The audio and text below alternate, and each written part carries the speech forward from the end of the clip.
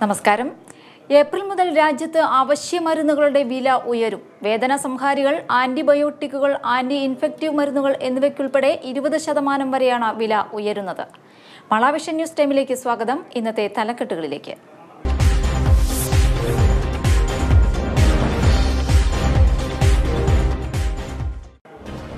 നിയമസഭാ തെരഞ്ഞെടുപ്പിന്റെ നാമനിർദ്ദേശ പത്രിക പിൻവലിക്കാനുള്ള അവസാന ദിവസം ഇന്ന്. കമ്മീഷന് ലഭിച്ചത് ആയിരത്തി അറുപത്തിയൊന്ന് പത്രികകൾ വിമത സ്ഥാനാർത്ഥികളെയും അപര സ്ഥാനാർത്ഥികളെയും പിൻവലിക്കാനുള്ള ശ്രമത്തിൽ രാഷ്ട്രീയ പാർട്ടികൾ.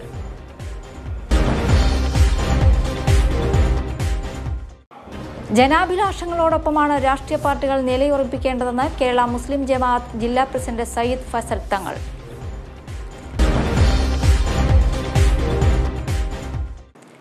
വാർത്തകൾ വിശദമായി നിയമസഭാ തെരഞ്ഞെടുപ്പിന്റെ നാമനിർദ്ദേശ പത്രിക പിൻവലിക്കാനുള്ള അവസാന ദിവസം ഇന്ന്. തിങ്കളാഴ്ച വൈകിട്ടോടെ പത്രിക പിൻവലിക്കാനുള്ള സമയം അവസാനിക്കും. പിൻവലിക്കൽ സമയം അവസാനിച്ചാലുടൻ സ്ഥാനാർത്ഥികൾക്ക് ചിഹ്നം അനുവദിക്കും. മുന്നണികളുടെ സ്വതന്ത്രർക്കും മറ്റു സ്വതന്ത്രർക്കും തിങ്കളാഴ്ച ചിഹ്നം ലഭിക്കും. സംസ്ഥാനത്ത് നൂറ്റി നാൽപ്പത് നിയമസഭാ മണ്ഡലങ്ങളിലായി ആയിരത്തി അറുപത്തിയൊന്ന് മത്സരാർത്ഥികളാണ് മത്സരരംഗത്തുള്ളത്.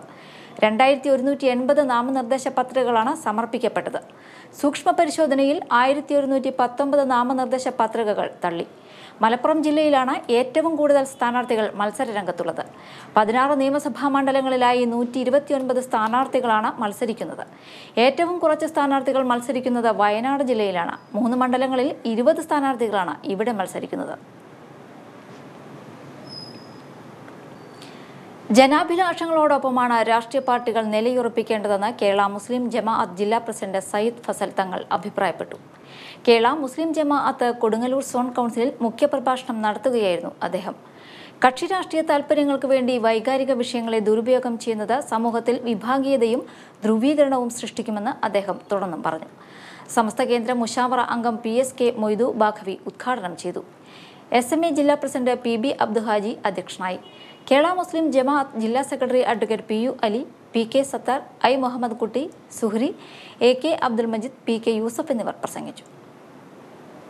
ഈ രാജ്യത്തെ ജനങ്ങൾക്കും ഈ രാജ്യത്ത് സമാധാനവും ഈ രാജ്യത്തെ ജനങ്ങൾക്ക് കൂടുതൽ ഉത്തരവാദിത്വത്തോടു കൂടി കാര്യങ്ങൾ നിർവഹിച്ചു കൊടുക്കാനൊക്കെ കഴിയുന്നത് ആരാണ് എന്ന് പരിശോധിച്ചുകൊണ്ട് ആ അടിസ്ഥാനത്തിൽ പ്രശ്നാധിഷ്ഠിതമായ പിന്തുണയും സപ്പോർട്ടുമാണ് ഈ കാലം വരെ നമ്മൾ നടത്തി വന്നിട്ടുള്ളത്. അത് തന്നെയാണ് ഇനിയും മുന്നോട്ടുള്ള നമ്മുടെ തീരുമാനം എന്ന് സാന്ദർഭികമായി ഞാൻ ഓർമ്മപ്പെടുത്തുകയാണ്. യൂത്ത് കോൺഗ്രസ് ചാലക്കുടി നിയോജക മണ്ഡലം തെരഞ്ഞെടുപ്പ് കൺവെൻഷൻ നടത്തി. യു ഡി എഫ് സ്ഥാനാർത്ഥി ടി ജെ സനീഷ് കുമാർ മുഖ്യപ്രഭാഷണം നടത്തി. കൺവെൻഷൻ യൂത്ത് കോൺഗ്രസ് ദേശീയ കോർഡിനേറ്റർ അഡ്വക്കേറ്റ് ഷോൺ പെല്ലിശ്ശേരി ഉദ്ഘാടനം ചെയ്തു. നിയോജക മണ്ഡലം പ്രസിഡന്റ് അനിൽ പരിയാരം അധ്യക്ഷനായിരുന്നു. യോഗത്തിൽ Sindo Mathew block secretary Sreedevi Kayambath youth Congress ജില്ലാ പ്രസിഡന്റ് ഒ ജെ ജനീഷ് നഗരസഭാ chairman Pailappan A B George C G Balachandran O S Chandran youth Congress മണ്ഡലം പ്രസിഡന്റുമാരായ Jaifan Manadan Jisman Paul Linoj Chiramel N P Praveen Joman Kannookadan Nidhin Paul Jins Chirayath Manu Paul തുടങ്ങിയവർ സംസാരിച്ചു. വലിയ നിലപാടുകളുമായിട്ടാണ് ചാലക്കുടിയിലെ youth Congress മുന്നോട്ട് പോയത്. നാൽപ്പത് വർഷക്കാലമായി ചാലക്കുടിയിൽ ഒരു സ്ഥാനാർത്ഥി വേണം എന്ന നിലപാടുമായി കഴിയാത്ത ഒരു വലിയ അംഗീകാരമാണ് ഈ പാർട്ടി. ഇന്നലകളിൽ എനിക്ക് പ്രവർത്തിക്കാനും നേതൃത്വം കൊടുക്കാനും കഴിഞ്ഞ യൂത്ത് കോൺഗ്രസ് എന്ന് പറയുന്ന പ്രസ്ഥാനം.